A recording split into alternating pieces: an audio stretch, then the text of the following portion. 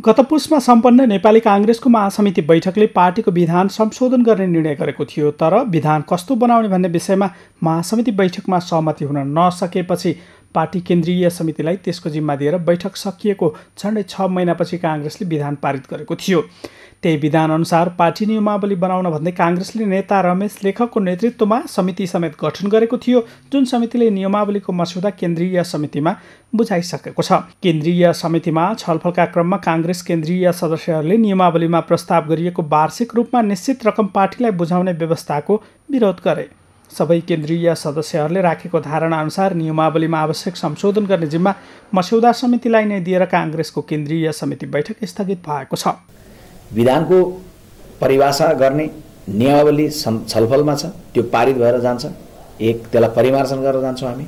दुई त्यो नियमावली बनिसके पछाडि मुलुकको बदलिएको संविधान पार्टीको बदलिएको विधान र नियमावलीले परिभाषित गरे बमोजिम राष्ट्रव्यापी रूपमा हामी अन्तरिम संरचना निर्माण गरेर जान्छौँ। तिन नेपाली कङ्ग्रेस पार्टीको क्रियाशील सदस्यताको वितरणको क्रम अन्तरिम संरचना बनिसक्नुसँगै प्रारम्भ हुन्छ। यी सबै क्रम भनेको के हो भने महाधिवेशनतर्फको यात्रा पनि हो। तराई मधेसमा वर्षापछि आएको बाढीका कारण समस्यामा परेकाहरूलाई राहत र उद्धारको काममा खटिन भन्दै केन्द्रीय समिति बैठक स्थगित गरेको काङ्ग्रेसको आगामी बैठक साउन सात गतेका लागि बोलाइएको छ। तर नियमावलीमा समावेश गरिएका कतिपय विषयप्रति असहमति जायर गर्न सुरु भएको छ। त्यसकै विरोध स्वरूप शनिबार ट्रेड युनियन महासङ्घ सहितका विभिन्न भातृ तथा शुभेच्छुक संस्थाहरूले काठमाडौँमा भेला गरी नियमावली सच्याउन दबाब दिने निर्णय समेत गरेका छन्।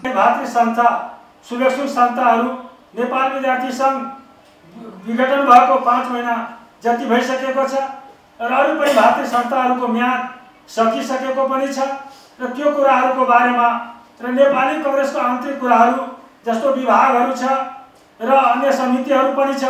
काङ्ग्रेसको जारी केन्द्रीय समिति बैठकले महाधिवेशनको कार्यतालिका समेत निर्धारण गर्ने कार्यसूची राखेको छ। आगामी फागुनसम्ममा महाधिवेशन गर्नुपर्ने भए पनि सभापति शेरबहादुर देउवा पक्षका नेताहरू संविधान र पार्टीको विधानले दिएको व्यवस्था प्रयोग गरेर डेढ वर्ष समय थप्ने योजनामा रहेको आरोप लाग्न थालेको छ। पार्टीको विधान नियमावली नबन्दासम्म सङ्घीय संरचना अनुसारका पार्टीका संरचना निर्माण नहुने र संरचना निर्माण नभई महाधिवेशन हुन सक्ने अवस्था छैन। सगरमाथा टेलिभिजनका लागि क्यामरामा सुरेन्द्र रावतका साथमा अमृतराज काफले काठमाडौँ।